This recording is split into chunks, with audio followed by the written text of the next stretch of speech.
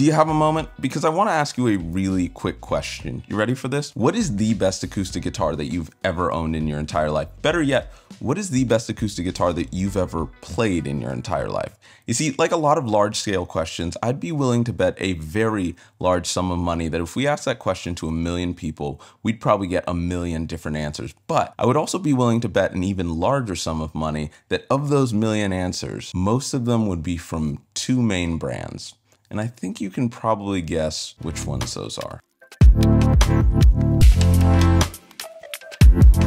You see, if you would have asked me that question probably 10 years ago, I would have given you a very definitive answer. Of course it's Martin. I mean, that's just what made sense to me, right? And the reason for that is because I had my college roommate at the time, and every single day he would teach me these new guitar chords. I was just learning all this new stuff, trying to comprehend all this new information. And every single day at 3 p.m., we would get a knock on the door, and one of his friends would schmooze on over, and he was also a guitar player who I really, really respected at the time. And he would be teaching us all these new chords, all these new licks, all this stuff that I had never even heard or thought of before in the realm of music.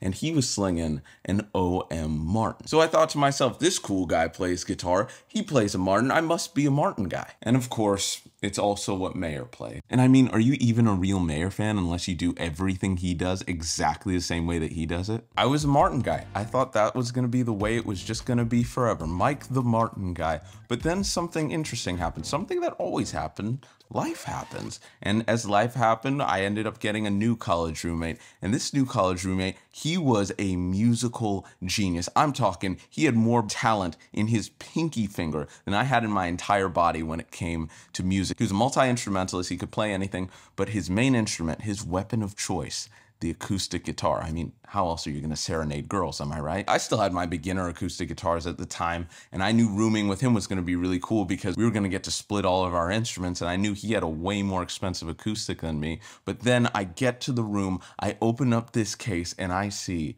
a Taylor, and I'm like, whoa, whoa, whoa, whoa, bro, what's happening here? I thought we were all cool. I thought everyone wanted to be a Martin guy. But in the midst of all of my doubt, I decide just for a second, let me give this guitar a try. And so I strum this Taylor 214 CE that his parents had gotten him for his 18th birthday. And immediately I notice, wow, this thing is unbelievable. Not only that, but I started to play this thing every day and I developed sort of a sentimental connection with this guitar as well as liking it because I'm just a new guitar player and I'm learning hundreds of new riffs on this exact guitar. And finally, after months, I think to myself, I may not be that Martin cat anymore. I think it's time to tell the world I am a Taylor fan. I'm a Taylor guitar player. I mean, why wouldn't you be? These are the greatest sounding guitars of all time. And despite that great epiphany, the world did not stop. Time kept moving, and as I graduated college, it was time for me to think about the big questions in life, like what acoustic guitar am I gonna get once I have just a little bit of money saved up? So after working in a guitar store, I bought a guitar, I sold a guitar, and I was ready. I was ready to get that Taylor. And I ended up finding something super special. On Craigslist, a deal for a Taylor 214 that was even better than the one my roommate had had because it was from like 10 years prior to that when all of the Taylor 214s had been all solid wood. So I'm thinking to myself, I'm gonna be a guitar player with an all solid wood Taylor. I mean, that's literally the dream. So I buy this guitar, I start playing it for about a year. And I think you can pretty much guess where the story goes from here. I found another person with a Martin. I wanted a Martin, then I wanted a Taylor again, then I wanted a Martin, then a Taylor, then a Martin, then a Taylor. And it just kept going back and forth over and over and over again. I would sell guitars and buy guitars and sell guitars and buy guitars. The cycle was unending because I was never willing to ask myself the real big question once and for all. Once and for all. Once and for all. Which one is better, Martin or Taylor? And I was thinking about it yesterday. I'm older, I'm wiser, I've gained at least like three and a half pounds of muscle. So why not ask the question right now? So let's do it. First things first, ladies and gentlemen, we're gonna need some guitars if we're gonna ask this big question. So I wanna introduce you to a couple of our players. Coming in all the way from Nazareth, Pennsylvania in 1833, weighing in at just over four and a half pounds, responsible for some of the most iconic acoustic guitar tones of all time. Ladies and gentlemen, may I properly introduce you to the Martin SCE 13 Special.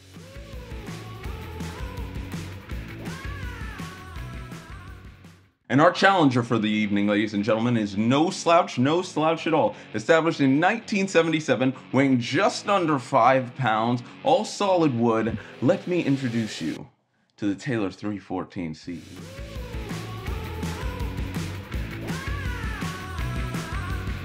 You see, both of these guitars, ladies and gentlemen, were picked very intentionally. Both of them happen to have cutaways, they both have solid spruce tops, but I also like that they were both in the same price range. The Taylor coming in at just about $2,200 and the Martin coming in at 2000 But the real reason Taylors are often, in my experience, known for having a really great top end. And a lot of Martins are known for having that very antique thing, which is great, but they're very different. But specifically with this Martin, you can definitely tell it was made with a more modern feel and modern sound in mind. You don't really see a lot of Martins with a cutaway or with that kind of sound in mind other than the GPC. So I thought this would be a great competitor. All right, so we have these challengers, we have our guitars. Why don't we just start going? Well, it's not quite that simple. You see, in doing this experiment, I want to to get it as accurate as possible, which means I want to eliminate as many unnecessary variables as possible, which in layman's terms, even if you picked up two of the same acoustic guitar, depending on the way it's strung up, depending on how you're feeling, what pick you're using, those two guitars can sound completely different and feel completely different. So like I was saying, we have to eliminate as much of that as possible. So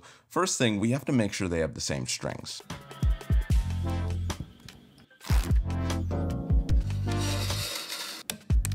So that took about 20 minutes longer than I thought, and the sun actually went down. So we're actually 24 hours in the future right now. I let them sit, let them stretch a little bit overnight. And now there's one more thing, just one more thing before we plug in and actually start seeing these sounds. We're gonna need a mic. And unfortunately, this mic will not suffice right now. Ladies and gentlemen, this is the Mojave MA300. It's a large diaphragm tube mic, making it perfect for acoustic guitars and perfect for the experiment we're about to do. We usually need our 48 volts of phantom power, but with this being a tube mic, it actually comes with its own power supply. So we'll be using this. We'll be going through the Neve. I think it might be time to see what's up. And yes, I will be taking wagers in the comments if you want to start up any bets or anything like that.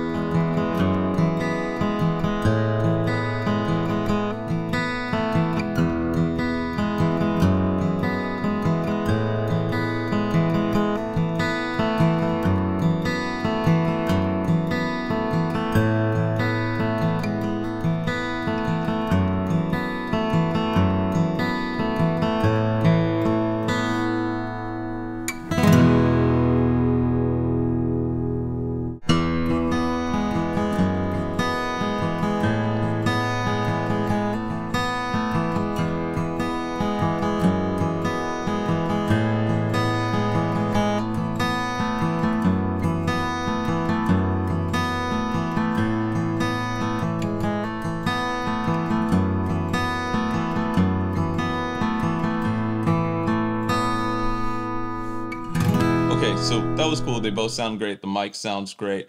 I think I'm starting to know which one I prefer, but I want to see them in the context of a mix first.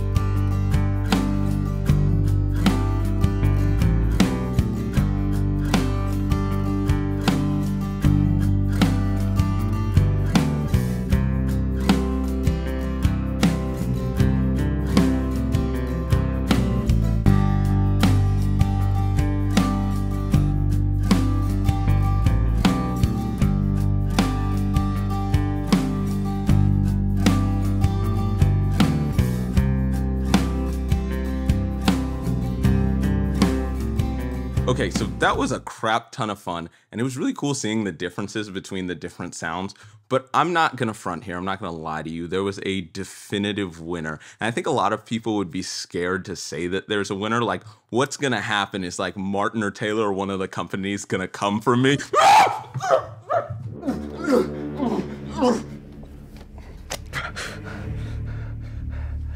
You think this is some kind of joke? For obvious reasons. I can't disclose my true identity, nor the identity of my employer. But what I can tell you is that you have compromised the security of the entire guitar world. No. No, I don't I don't know anything. I, I don't I don't know too much. We can stop this. Unfortunately, Michael, it's too late for you. You've crossed a line that others wouldn't dare to. What line? No. No. No. No! No! Wait. Wait, what? Wait, what happened? Oh, oh, uh, Well, that was quite the interesting day. I don't think I expected any of that. If you want to know anything more about the Mojave MA300, I got it from the homies at Sweetwater. The links are in the description.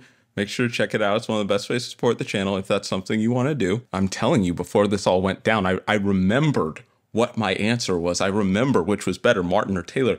But now due to the trauma, I can't even I can't even recall what I was gonna say. Like and subscribe if you had a good time, and most importantly, like most important of all,